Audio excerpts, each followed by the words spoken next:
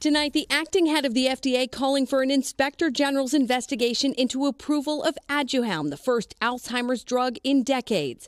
Janet Woodcock writing she's concerned about contacts between representatives from Biogen and FDA during the review process, including some that may have occurred outside of the formal correspondence process. It's one of the worst decisions that I can remember. Dr. Aaron Kesselheim resigned from the FDA advisory committee after the drug's approval last month. If there is data that the FDA has that, that we don't know about that might justify aspects of the decision, then we should know that.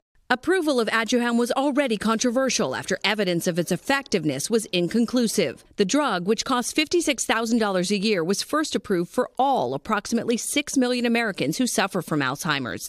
This week, that was revised to those in the disease's early stages, like Phil Gutis, who participated in the drug's trials. It is a little bit of a gut punch um, because, you know, I do believe this has helped me. While in a statement, Biogen said we will cooperate with any inquiry. As tonight, millions of families facing Alzheimer's wait for answers about the drug that once brought so much hope.